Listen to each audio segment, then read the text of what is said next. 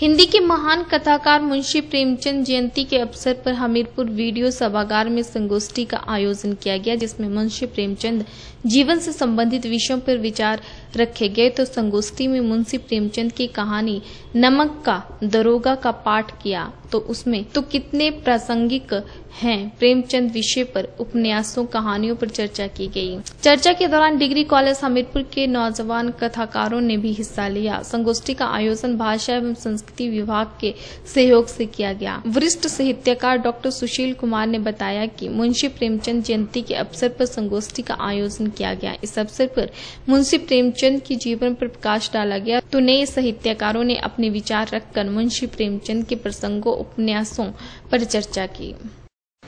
मुंशी प्रेमचंद ने 300 से अधिक कहानियाँ लिखी, जिनमें से ठाकुर का कुआँ पंच परमेश्वर, ईदगाह, लेखक आदि कहानियों का ज़िक्र आज यहाँ पर किया गया। और उनके जीवन के विषय में भी गवर्नमेंट कॉलेज के छात्र रोहित ने अपने विचार व्यक्त किए और एक नेहा नाम की छात्रा ने उनकी एक कहानी पंच परमेश्वर का पाठ सब के लिए प्रस्तुत किया। तो कैसे हैं जिनके कविताएँ पहले छपी होंगी और कुछ स्थापित हैं, कुछ नए लेखक होते हैं। इन काव्य गोष्ठियों का अर्थ यही होता है कि कुछ नए लेखकों को भी तैयार किया जाए और जो छपे हैं, उनकी तो पुस्तकें, उनका आलोचना या उनका जो भी रचनात्मक प्रबंधन है, उसमें वो पहले छप चुके हैं। सरोज परमार हैं, जैसे मित्र हैं, या और कई लेखक नदौन से यहाँ पधारे हुए हैं। बिलासपुर से रवि सांख्यान हैं तो उनकी कविताएँ प्रकाशित हुई हैं।